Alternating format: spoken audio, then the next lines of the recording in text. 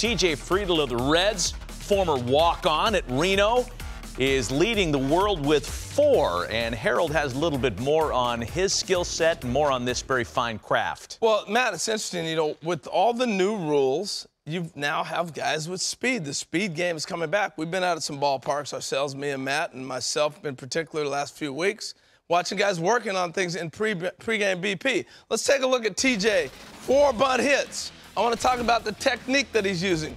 Look at the step and bring it towards the first baseman. One thing I'm seeing is defenses have not had people bunt on them, so they don't know how to defend. It's unbelievable. That's just a base hit. That's a nice drop bunt in front. Just he's trying to shoot that down third baseline. It dies on the pitcher. Easy base hit. But bringing the ball to second base is going to be the one I think that a lot I used to love to utilize, and I think you can see it happen a lot in the big leagues. Here's one here. Nice jump down third base. No chance. That's a traditional drag bunt, right? But this one here, so many guys don't know what to do. The first baseman vacates, your foot race to beat him. It's on, game over. So, couple things on lessons on bunting if you're a left-handed hitter and you're looking to bunt for a base hit to the right side.